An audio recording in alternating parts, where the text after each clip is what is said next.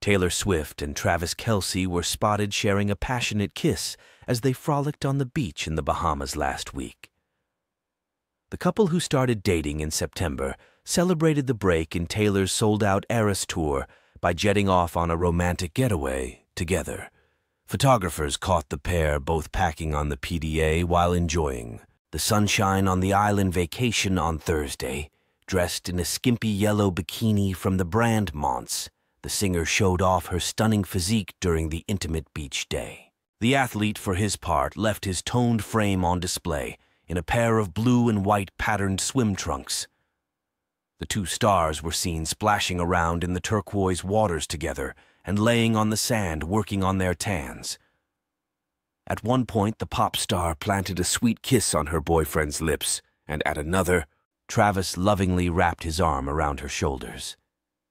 It seemed like they spent the day on a private area of the beach, as no other tourists were spotted around them. After lounging on the sand, the couple made their way into the water while holding hands. The two stars giggled together as they cooled off in the sea under one point. The couple were all smiles, hardly able to contain their joy as they whispered in one another's ears and cuddled in the turquoise waters. They then hopped onto a boat that took them out to sea to enjoy the stunning views and perhaps do some snorkeling. Ever the gentleman, Travis made sure to hold his girlfriend's drink as she hopped into the vessel. Afterwards, the hitmaker wrapped herself in a yellow towel to dry off before she made herself another beverage.